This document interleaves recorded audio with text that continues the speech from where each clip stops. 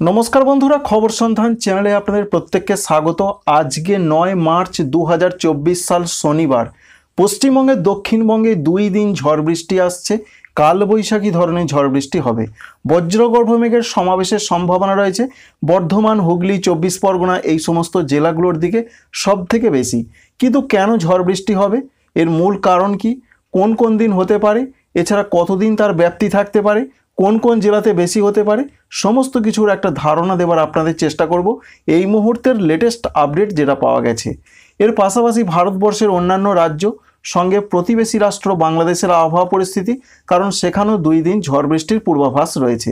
সমস্ত জিনিস জানতে হলে ভিডিওটি শেষ পর্যন্ত দেখুন। কাজে লাগলে একটি লাইক করবেন, আমাদের চ্যানেলটিকে সাবস্ক্রাইব করে রাখার আপনাদের কাছে রিকোয়েস্ট রইল। আমাদের প্রথমেই জানতে হবে বৃষ্টির পরিবেশটা কেন তৈরি হবে। এই মুহূর্তে যেটা আপনাদের জানিয়ে আসছিলাম, সেটাই একটু আগে জানিয়েছেন ভারতীয় আবহাওয়া দপ্তর। তারা বলেছেন, একটি নয়, দুই, দুইটি পশ্চিমী ঝঞ্ঝা আবারও আসছে।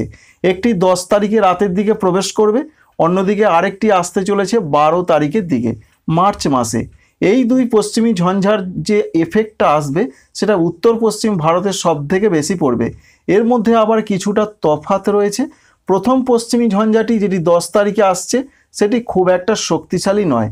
তবে বারো তারিখের পশ্চিমী ঝঞ্ঝা প্রচণ্ড শক্তিশালী। এর প্রভাবটা প্রচণ্ডভাবে পড়বে।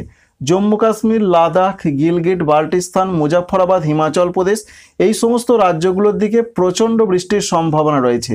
যদিও বৃষ্টিটা শুরু হবে এগারো তারিখ থেকে, কিন্তু তেরো, চোদ্দ তারিখে আরও বৃষ্টি বাড়বে।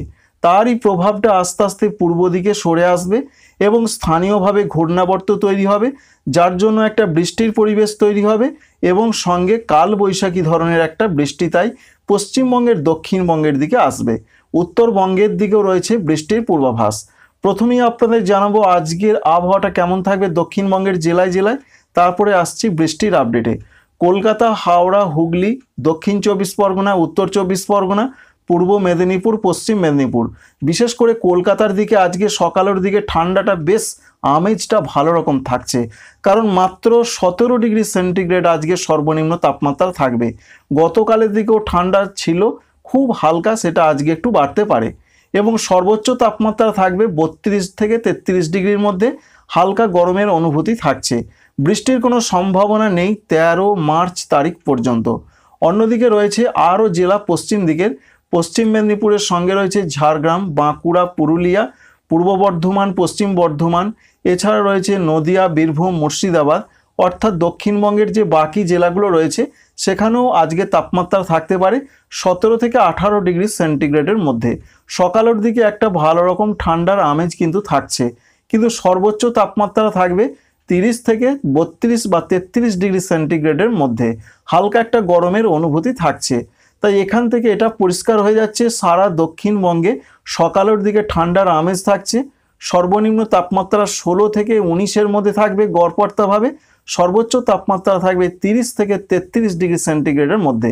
প্রত্যেকটা জেলাকে গড় করে এটা আপনাদের জানাচ্ছি। এবার আসছি বৃষ্টির আপডেটে। দক্ষিণবঙ্গের ক্ষেত্রে যা পূর্বাভাস রয়েছে, তেরো মার্চ তারিখ পর্যন্ত কোনো জেলাতে কোথাও কোনো বৃষ্টির পূর্বাভাস নেই। তাই তেরো তারিখ পর্যন্ত কোনো বৃষ্টি হচ্ছে না। কিন্তু মার্চ মাসের চোদ্দ তারিখ এবং পনেরো তারিখ, এই দুটো দিন ঝড় বৃষ্টির সম্ভাবনা রয়েছে দক্ষিণবঙ্গের জেলায় জেলায়। চোদ্দ তারিখে প্রত্যেকটা জেলাতে ঝড় বৃষ্টির সম্ভাবনা খুবই বেশি। কলকাতা, হাওড়া, হুগলি, চব্বিশ পরগনা, মেদিনীপুর, ঝাড়গ্রাম, বাঁকুড়া, পুরুলিয়া, পূর্ব বর্ধমান, পশ্চিম বর্ধমান, নদিয়া, বীরভূম, মুর্শিদাবাদ।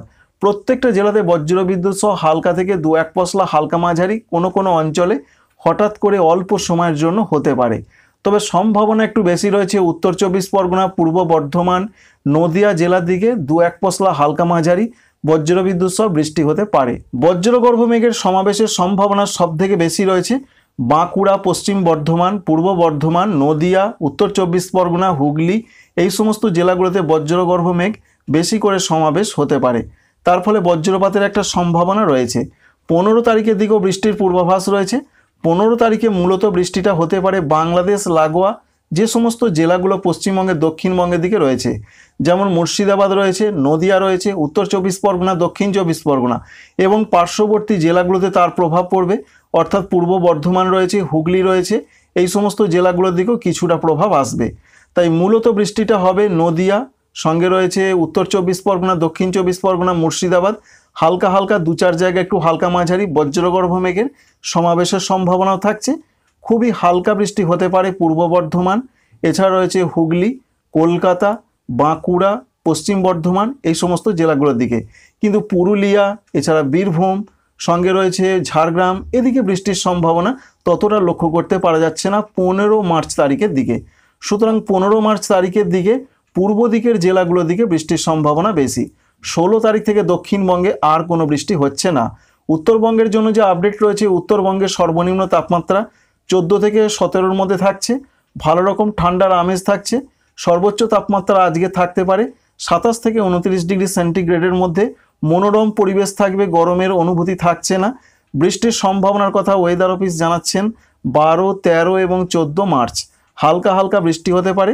ওপরের জেলাগুলোতে বৃষ্টির সম্ভাবনা বেশি। দার্জিলিং, কালিম্পং, জলপাইগুড়ি, কুচবিহার আলিপুর দুয়ারের দিকে। দক্ষিণবঙ্গের মতন ততটা বৃষ্টির কোনো পূর্বাভাস এখনও পর্যন্ত নেই। তবে নিচের দিকে জেলার মধ্যে মালদার দিকে বৃষ্টির সম্ভাবনা রয়েছে। বিশেষ করে রয়েছে চোদ্দ মার্চ তারিখের দিকে। এখনও পর্যন্ত এই আপডেট আপডেটে অবশ্যই পরিবর্তন আসে। পরিবর্তনগুলো আপনাদের প্রতিদিনই জানিয়ে দেবো। এছাড়া ভারতবর্ষের ক্ষেত্রে যে আপডেট রয়েছে, দক্ষিণ ভারতের রাজ্যগুলোতে বৃষ্টির কোনো পূর্বাভাস নেই। আজকে এবং আগামীকাল উড়িষ্যার দিকে হালকা হালকা বৃষ্টি হতে পারে, কারণ উত্তর উড়িষ্যা থেকে উত্তর অন্ধ্রপ্রদেশ পর্যন্ত একটি অক্ষরেখা রয়েছে। অন্ধ্রপ্রদেশের কোনো কোনো অংশে হালকা হালকা বৃষ্টি হতে পারে। এছাড়া উত্তর পূর্ব ভারতের রাজ্য, বিশেষ করে অরুণাচল প্রদেশের দিকে বারো তারিখ থেকে বৃষ্টির সূত্রপাত হবে।